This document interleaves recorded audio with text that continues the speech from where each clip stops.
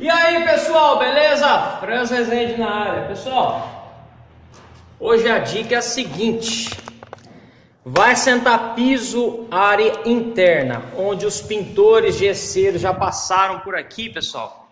Tem que lavar, não tem jeito, galera.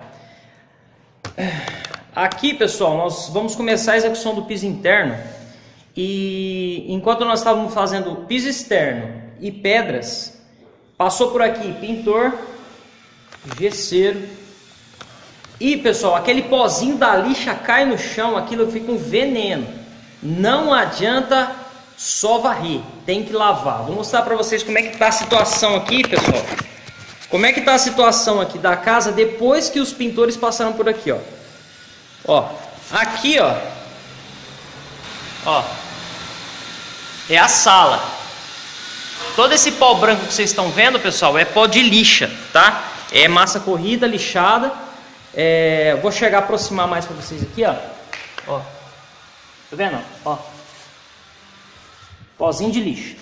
Aí o que acontece, pessoal? Só varrer isso aqui não adianta.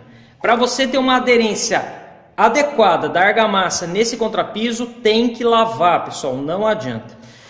A, nós estamos usando aqui, pessoal, uma lavadora de alta pressão Estamos usando uma, uma maquininha aqui, ó.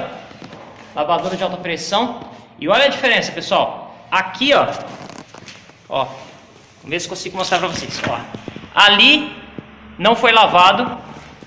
Aqui foi lavado. Ó.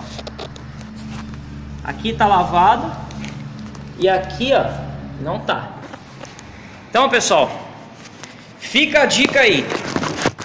Vai assentar piso revestimento. Já passou pintor, gesseiro pela sua obra aí?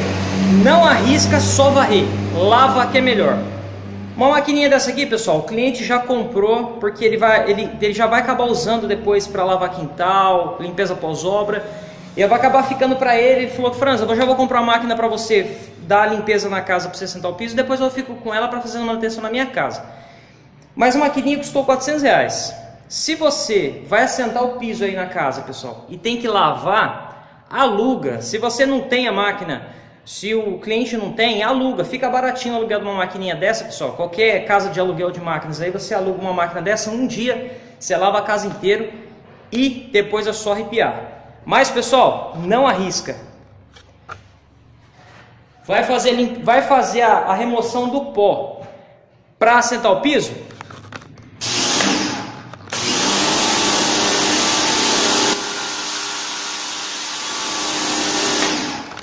Usa uma maquininha de pressão, que depois disso aqui, pessoal, fica ó, cachorro de bola. Depois de lavado, é só chegar com a sua argamassa e mandar ver no assentamento.